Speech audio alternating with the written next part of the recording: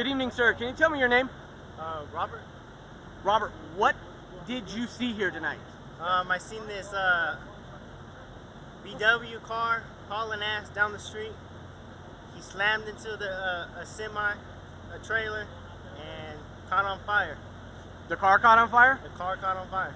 What did you do? I mean, did you run over there and try I- and help him? I dropped my food, I dropped my soda, and I ran to go help him. I grabbed the extinguisher out of the, the truck, and I, I started putting out the fire.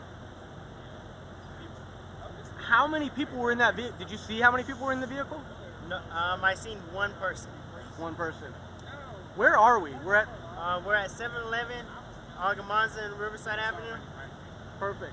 Have you ever seen anything like this? This has got to be pretty, Um, pretty I- tra- This is my first time actually like this one. And when you used the fire extinguisher, was were, was it doing anything? Like, was it actually putting the fire out, or Um, it was putting it was putting it out, and then it kept on turning on and putting it out, and kept on turning it on.